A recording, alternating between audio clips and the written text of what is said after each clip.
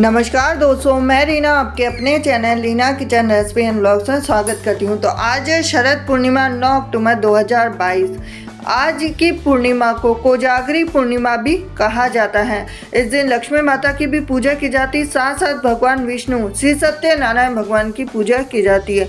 खास तौर पे काफ़ी लोग आज के दिन व्रत रखते हैं, काफ़ी लोग उपवास रखते हैं।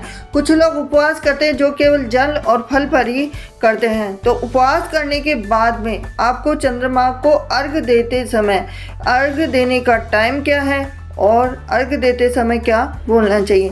तो चाँद को अर्घ देने के लिए खास नियमों का भी पालन करना होता है।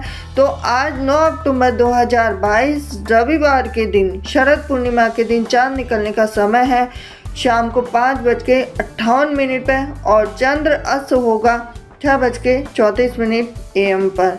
तो ये थी खास जानकारी आपके लिए वीडियो। अगर आपको पसंद आया तो वीडियो को लाइक करें, चैनल सब्सक्राइब करें, बेल आइकन प्रेस करें। हरे कृष्णा।